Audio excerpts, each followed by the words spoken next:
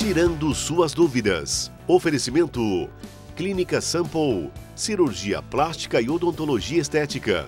Clínica Vitalmed, cirurgia de cabeça e pescoço e estética avançada. Visari, Hospital de Olhos, sua visão levada a sério. E Medical Saúde Familiar. Bom dia, Maíta. Obrigado pelo convite, esclarecendo a dúvida.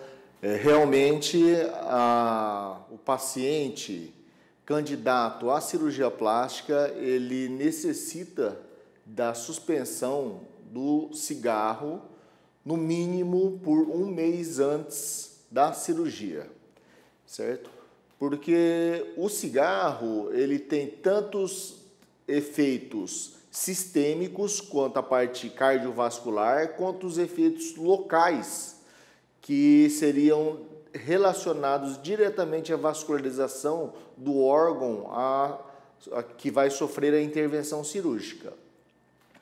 É, quanto ao tempo, é, isso depende muito o tempo que o paciente foi tabagista e a quantidade que esse paciente tinha é, o hábito de, do uso do cigarro, certo?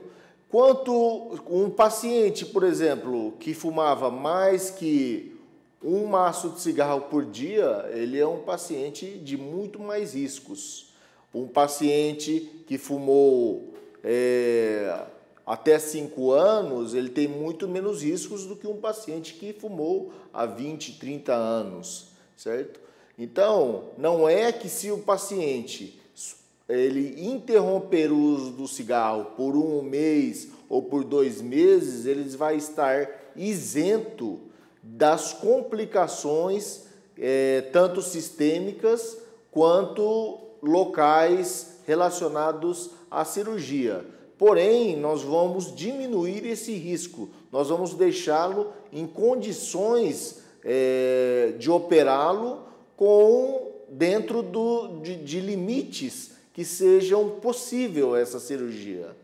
Então, o paciente, em relação aos, aos riscos é, sistêmicos, nós temos principalmente problem, os problemas pulmonares, quanto o, o paciente ser um tossidor crônico e essa tosse crônica poder é, aumentar a sua pressão arterial, ele ter picos de hipertensão arterial com eventuais hemorragias e também ao aumento de, da chance de ter trombose venosa profunda e tromboembolismo pulmonar.